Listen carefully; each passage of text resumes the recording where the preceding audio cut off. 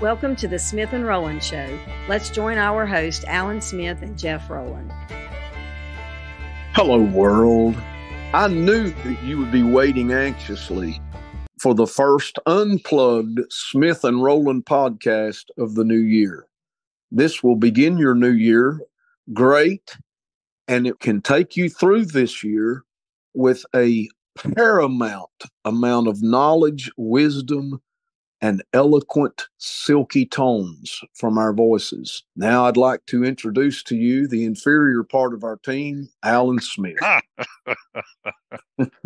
he done it again. Well, from one inferior to the other, how you doing?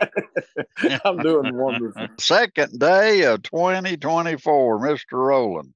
I can't believe we, Can you we're believe here. we made I it? can't- I, I can't believe we're here. I, I'll be honest with you. I cannot believe that we are in 2024. You know, there's a scripture that says God teaches us to know wisdom is to uh, number our days. My wife wrote a song called Teach Me to Number My Days. Wow. And uh, if you get right down to it, 10 years is 120 months. That's not very long. It's just not, it goes by in such a flash, and then a decade is gone. And if you think of it, there's been a couple of decades that seems to have escaped my memory. So I'm actually only 40 years old. So I'm just going to go with that. well, that's probably a good number to go with. Listen, James Robinson has written an article on the stream here the first of the year. He actually wrote it December 31st, but approaching the new year that we find ourselves in. And Jeff, this article, I think let's maybe take a few points out of it. But when you think of 2024, the first thing that hits me is an election year. We've been talking about this uh, election year now for the last four years Yeah. and uh, three years, and there's a lot of unrest around the world. Everybody, you know, we're hearing everybody say uh, war in 24. Yeah, I mean, and ev- that's you know what the things that's out there, Alan, that I've read about twenty four. Everyone is expecting it to be a kind of a rough time in the world. Yeah, tough year, tough year. Yeah. And well, we know that two thirds of the world will be disruptive just because that many will be talking about Donald Trump. I mean, that's going to be the topic of the globe. Oh, And yeah. So that's enough to keep us keep everybody in between Yeah. the pros and the cons. It'll be a, we know what a lot of the conversation's going to be going into yeah, boy. this election.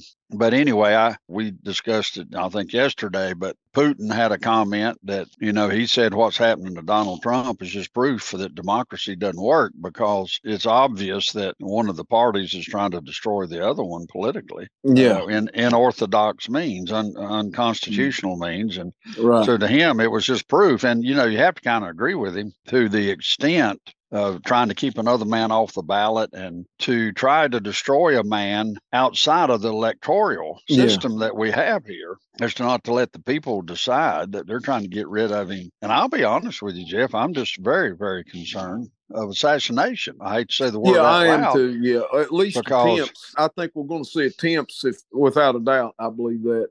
I mean, you know as well as I do the way the snipers are this day, they can about pick off the man on the moon. But anyway, I just we just need to be in prayer that it's not so much for Trump as it is our whole political system is Yeah. really being railroaded by the far left, or I'll call it the Luciferian thinkers. the Yeah, only way I know Yeah. to say it. And because I, in all honesty, the far left has been hijacked. I mean, liberal to a lot of people is a good term, and it is to me also when it's biblical. But literal today, it's been hijacked. The literal side, the literal movement's been hijacked by Luciferians, as far as I'm concerned yeah, it has. about people who are just for Lucifer. And it's one thing to be right and left and then just Luciferian. So, anyway, I think that's the year we're looking at, Jeff. If you allow me, I'll read just a little bit in the beginning of James Robinson's article here. He says, Are you ready for this year? That's a question. Mm. Here in the United States, it's another election year. Remember the last one as we popped the champagne corks metamorphically, of course. Four years ago, we had no idea we were about to face a global shutdown from an engineered virus. Now, pastors are being arrested for holding in person services, a summer of burning cities, an election marred by unlawfully changed election procedures,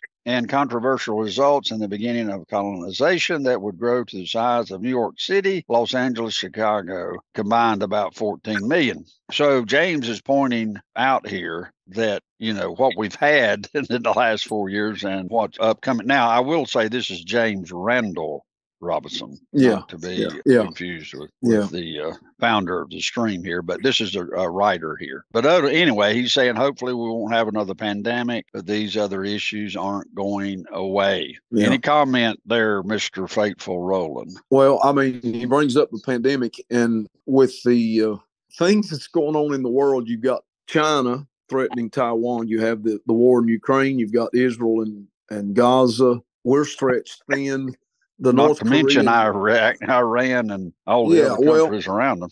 Well, yeah, we've had a hundred over a hundred of our places in Syria and Iraq that's been bombed. Mm. U.S. soldiers are now in the crossfire of all that's going on. There is, I say again, everybody's waiting on World War III. I'm saying it's already started. We're in the middle of it. It's already taken place. If another pandemic is released, it would not surprise me because that would ensure that voting procedures in America for this election year would stay the same way it was during COVID. And not many people realize the fact that our voting procedures changed because because of the pandemic and allowed mail in ballots at a level that we had never seen before. And because of that, there was more people that voted than ever before. It was awful hard to have good oversight on the election to protect against fraud. And some believe that the last election was fraudulent. Whether you believe that or whether you don't, that's up to you. I'll leave that up to you. But I will say that it, it looks awful suspicious to me that we may face another pandemic for the sake of keeping those election laws in place. And if that happens, then America once again is going to be the victim of a very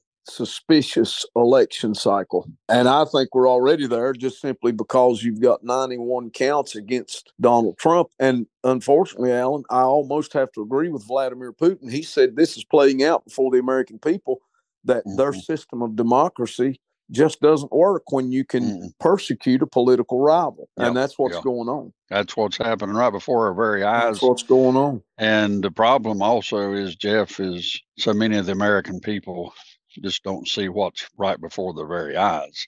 Yeah. That's the scary part. On the pandemic side, Jeff, it's it's hard to deny that we don't have some viruses floating around now that we've never seen before. And they could be an offshoot of the, you know, of the other virus. It could be an offshoot of that going through mutations. I mean, who knows? But for sure, yeah. I mean, I'm 71 these days, and we're having viruses now that I've never seen before. And I've had a few of myself, knowing yeah. that their characteristics are different. So there's some things going on now that are definitely not normal. I'll say this too, Jeff. I think that the dark side of the spiritual world is at such a ramped up in its activity preparing. You and I are the persuasion that the rapture of the church is pretty close. So that being the case, the dark side wants the Holy Ghost, Holy Spirit off of the planet. And you and I know that happens at the rapture of the church. Yeah. Because as the believers go out, so the Holy Spirit goes out with the believers, which I don't think a lot of people consider that. Now, what's going to really be a shame is if the Holy Spirit's been pulled out and you didn't know he left. That's going to be a huge That's going to be bad. That's going to be bad. And that's going to be part of the issue. But why does the world get so bad? And that's another argument you and I get into with people is, well, if they say, well, they, don't believe in the rapture of the church, well, you, how does the Holy Holy Ghost leave. You you've got yeah. an absence of the Holy Spirit during that time. That's the reason you have to endure to the end to be saved. You got to go to the end of that thing to run into the Holy Spirit, you see, because the Holy Spirit's been taken out. So it says right there in scriptures, just black and white, you have to endure to the end to be saved, which proves to you that the Holy Ghost isn't here. Because if the Holy Ghost was here during that time, it's instantaneous. The Holy Spirit's here, enters your heart, and then there you go, you're good to go. But it's obvious that something's changed. And so, as the dark side, my point is, is is wanting to it is looking forward to the rapture of the church you know, which most people don't seem to understand. Also, Jeff, we ran into another article or another little video of, of how that the dark side is looking forward to a dark revival. Yeah, that's exactly right. And, it, and it called called to our mind.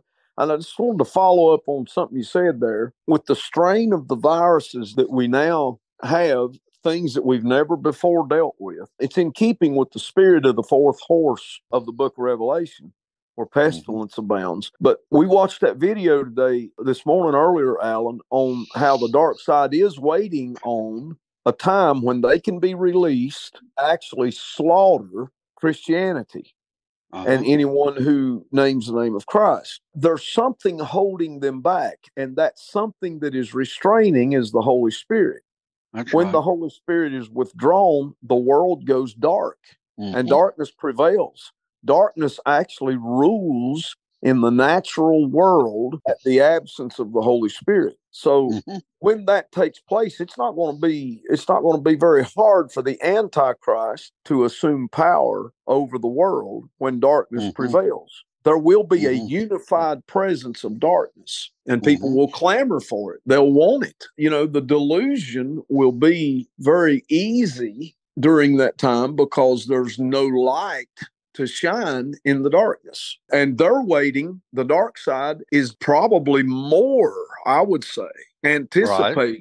the coming of the Antichrist than we are the coming of Christ. And in some mm-hmm. sense, you can even say that the dark side is hoping Jesus does come back soon so that they can get on with their business. And I think that that very well could happen in 2024. Oh yeah, no doubt. You know, when it talks about the, I think to be able to carry on a conversation about the restrainer, you know, and the Holy being the Holy Spirit, that I don't know that Christians have a very good handle on what's taking place here. It's in Second Thessalonians 2, 6 through 7. It says, And now ye know what withholdeth that he might be revealed in his time, talking about the Antichrist, for the mystery of iniquity doeth already work. Only he who now letteth will let it says. Now on he until he be taken out of the way. Yeah. And so we see that it, we're going to have this time of i guess you the great restrainer of course is the holy spirit. Then he's the one that restrains or he's the one that says in the niv it says the one who holds back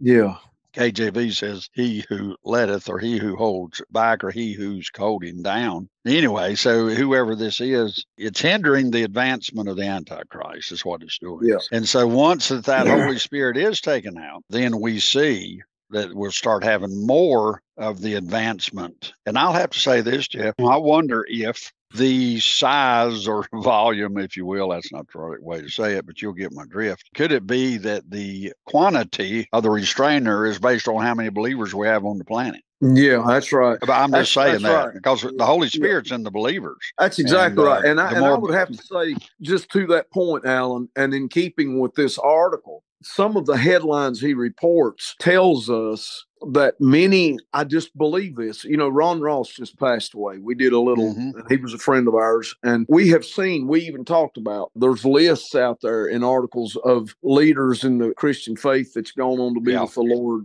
this past year we're losing seasoned warriors in the body of mm-hmm. Christ mm-hmm. at a right. monumental rate, and no one is taking up their spot. Nobody's right. replacing. And because there is that going on, listen to some of these headlines. CNN reported a humanitarian crisis worsens in Gaza as Israel and Hamas war rages. CBS News reports Biden announces 250 million more in military aid to Ukraine. USA Today reports this. Listen to this. Voters split on Donald Trump being disqualified from the Colorado ballot. Yahoo News had a headline that read this 2024 will see deadly political violence in the streets. Oh I mean, gosh. think about that. Listen to this. Fox News reported parents speak out after their daughter was assigned to share bed with a trans student on a school trip and told to hide it. The AP News reports one fourth of the United Methodist churches in the U.S. have left in a schism over the LGBTQ ban. The High Wire their headline is is top Japanese virologist warns of manufactured Omicron strain to the virus. So these are just some of the headlines out there. Now what it tells me is is that as the believers leave this earth, the restraining power of the Holy Spirit is being lifted. And I think that mm-hmm. in the scope of evangelism, we're not replacing these saints of God that's leaving the earth wow. by way of death. And, Wow. and there's less and less of the restraining power on the earth. And that's why darkness is prevailing and why it's Yeah. getting dark. Well, you know, in Second Thessalonians two, Thessalonians two three, it says, "Jeff, don't let anyone deceive you in any way or by any means, Mhm. for that day will not come." Talking about the second coming until the mm-hmm. rebellion occurs and the man of lawlessness, lawlessness is revealed, the man doomed to destruction. So that lets you see the Antichrist, the actual Antichrist, Jeff. I don't think can be revealed because of the presence of the Holy Spirit on the That's right. That's exactly right. And so exactly right. why is the rapture of the church necessary? You got to remove the Holy Spirit so that the Antichrist does show himself. That's exactly right. And then and he'll show himself as being God. Well, how can he do that? Is because God's Holy Spirit's left the premises. And I'll Mhm. tell you what, Jeff, when the, the Holy Spirit leaves a church, leaves the premises, even though he's still on this earth, he still removes his presence. Yeah. When God removes his presence, Jeff, in a local church or in an individual, now that is a terrible time. yes, it is. It's a terrible time. And I'm afraid, Jeff, the Holy Spirit can leave a lot of churches or a lot of people and they won't even know he's gone. They don't realize he's even left. That's scary, you know. I heard one preacher preach this, and I, I'm not so sure he's not right. He said the rapture of the church, if it takes place on Saturday, most churches would, won't even realize that it had happened. Wow. And and I, and it makes you wonder. I mean, it really does because uh, for a while I was really intrigued and passionate about a, a statement that I felt like was just dropped into my spirit on coming to full faith in Christ. I think there's a lot of people that believe Jesus was a good teacher, he was a historical figure, but they haven't come to faith in him as the Christ. yeah. And there is yeah. a big difference. There is Yeah. a huge difference. You know, it goes on to say, and now you know what is holding him back, you know, that he will be revealed in his proper time. But the part that's concerning us, I guess, until the Antichrist is revealed, Jeff, there's kind of a secret power of lawlessness out there at work, the Bible says. But the one Yeah. who now holds it back will continue to do so till he is taken out of the way. And it says, and then the lawless one will be revealed. So it's like a under a secret lawlessness if you will. You Yeah. know, it's looking more obvious all the time, but it is being stealth and secret, Jeff, because how did it take us over right under our noses? We didn't even know it. Didn't even know it. How That's can you say, when you say defund the police, if that's not the spirit of lawlessness at work, I don't know what you call it. That's right. I mean, come on, somebody. That's right. And as close as we are to uh, civil conflict in our own nation, and to read headlines from a social media platform that says that 2024 will see deadly political violence in the streets, that is lawlessness. It's also reminiscent of the spirit of the second rider of the four horsemen, where peace is taken from the earth and violence abounds. That comes from the spirit of lawlessness. And we we're Yeah. seeing that. We're seeing these things. And I guess my point is as we see this darkness in more vivid terms, it just, I cannot help but believe that less and less of the restraining power is on the earth to restrain governments. I'm not saying that the Holy Spirit is not as powerful and even more so in individuals' lives. Yeah. But it just seems to me to be apparent and obvious that the governments of the world's growing darker and darker. Yeah. It just means to me that less and less believers are in positions of power around the world. Well, what in the world can you imagine, Jeff, at how bad things are now with the Holy Spirit here? Exactly. How bad's it going to be when the Holy Spirit's taken out? I'm like Chuck Smith kept saying when he was preaching through Revelation, he just kept saying, Look, you don't want to be here. Is that what he said? That yeah, over and over again. He'd, he'd say, You- you "You don't- you don't want to be here You when, when this happens." Yeah, that's right. You, I'm telling you what. Can you imagine? And in all honesty, Jeff, it appears to me that the presence of the Holy Spirit has already left a lot of businesses. Yes. Now, as the Holy, I, I would almost venture to say before the rapture of the church that the Holy Spirit is already removing himself from certain people, from plants, I believe that. nations, from, from counties, from churches. That's I right. think we're seeing. I mean, I just saw an article yesterday on in, in Europe on how many. I, it was I, it was over fifty percent of the churches now, and I'm talking about ancient churches. I'm talking about church buildings that I would preserve them just for historical value. But it was a big cathedral. I mean, incredible inside, and they turned it into a skateboarding park. Right, exactly. Same thing's been happening in Wales over the last 30 years. All of the, the church buildings that used to be packed full during the revival in yeah, Wales. 1900. Yeah, yeah they're, they're oh now, they've been renovated as warehouses and as um, saloons and pubs, different things like that. It's evident to me that the restraining power of the Holy Spirit is being withdrawn in some areas. And I still maintain and I hold to the fact that we can have a fresh infilling of the Holy Spirit in our lives, but corporately, nationally, governmentally, in those areas, we're seeing the Holy Spirit withdraw yeah. his presence. And well, I'm still praying for revival myself. Yeah, me too. I mean, I Lord too. Jesus. I want if it to he, be one small step from earth to heaven, as you said years ago. Yeah. I'm looking for that. And I think that we can, as individuals, we can enjoy that. I think yeah. that that's not just possible, but it is a practical solution to where we are.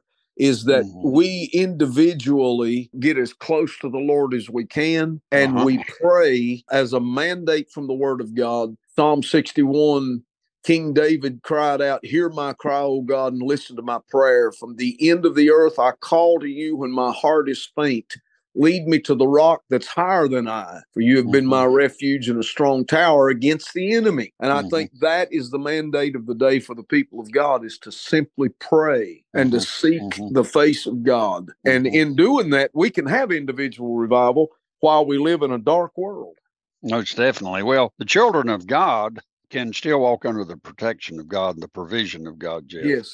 Yeah. And the peace of God, even all of this is going on. I'll tell you, when the hindrance, when hindrance to all evil is removed and evil is turned loose with no restriction, if you will, this will not be why would you want to be here? This is not the place you want to be. And a lot of people though are going to find there you're even going to have some believers converted in this time jeff but they'll have to endure yeah uh, that's right they'll have that's to right. endure to the end but why do they have to endure to the end well the reason is is jesus comes back with all of the saints yeah the holy spirit's in the saints yeah with jesus right. and they return so you got to endure to that end which yeah. you'll you know as well as i do you'll probably be martyred but you'll be riding back with them but those there'll be evidently some alive but you still have to endure to that ending time when the Holy Spirit comes back. So you have an opportunity to be filled with God's Spirit. So that's pretty sobering information, I think, Jeff. Absolutely, we, it uh, is. Yeah. Now, as he goes on to say, it says here his his point of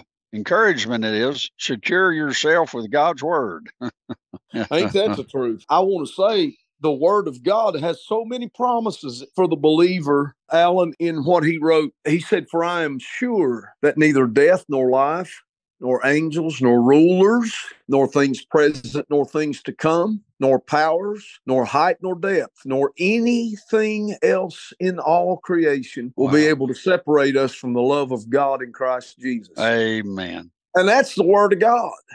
And if we secure ourselves with God's word, then we can enjoy peace and revival in a time of great distress. We did a podcast Sunday on, and we talked about during that podcast, the voice of God. And here he quotes a, a verse scripture My sheep hear my voice, and I know them, That's and right. they follow. And I yep. give them eternal life, and they will never perish. No one will snatch them out of my hand. and I got to tell you, those are promises that you can hold on to during times of great distress like we're going to face in this coming year and those those promises from the word of god can keep us in peace and I'm excited about the prospect of digging deeper into God's word during this coming year. Too. And I think we're going to have to have it if we're going to survive. I think we are too, Jeff. As we're closing out today, we want people to know that our friend Ron Ross will have a memorial service December the 6th at New Life Church in Taylorsville, North Carolina. You can go online at newlifenc.com and to get directions, but that will be Saturday, December the 6th at 2 p.m., 2 o'clock in the afternoon. We'll have this memorial service, and all's invited for. Ron that know Ron and would like to uh, and hear our voice. Also, also, we will be live streamed. And Jeff, we want to invite everybody as they hear this podcast that the home base for Smith and Rowland Show is Kingdom Prophetic Society. Yeah, that's where, we, that's where we live. If you want to know where Jeff and I live, it's at Kingdom Prophetic Society, and you can find us there at kingdompropheticsociety.org. One word. yeah, well, that's right. kingdomspropheticsociety.org and you can go there and hear all of our shows find out what we're doing jeff writes articles we'd love for you to join you Yeah. can click there uh, you can join kingdom prophetic society would love for you to and as you can when you join you will daily get a podcast and uh, you have access to our other things there so we invite you to come Yeah. and be a part of us as we continue we think this is going to be an exciting year jeff and uh, yes, it is. going to be a lot going on. Yeah, boy. Okay, buddy. All right, Alan Smith. Well, listen, you have a good day. You do the you can same. write up a little better introduction for tomorrow. Yeah, well, I listen. I want everyone to be waiting with bated breath when the oh show Okay. begins. It's going to be incredible how I introduce this podcast. exactly right. That's right. All right, buddy. You're going to get an Emmy for that. All All right. right, buddy. See you. Bye bye. See you. Bye bye. Thank you for joining today's Smith and Rowland Show. You can check out our website at kingdompropheticsociety.org and our daily unplugged podcast at smithandrolandshow.podbean.com. You can also join us on Amazon, Apple, or Spotify.